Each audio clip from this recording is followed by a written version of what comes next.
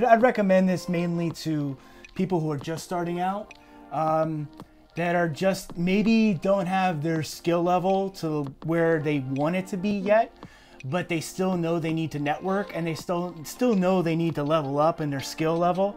Um, I remember years and years and years ago, um, Rocco's is a, it's a, it's a, uh, it's a uh, Mexican taco uh, restaurant here in West Palm Beach.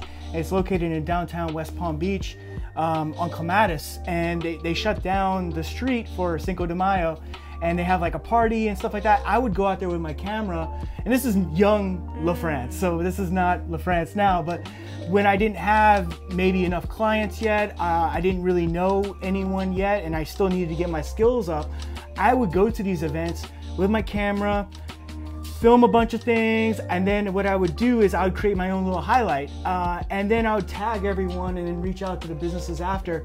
It's not going to guarantee you a job. It's not going to do anything. It's going to do two things, really. I think essentially, it's going to get you out of your shell. You can get to meet people on the street.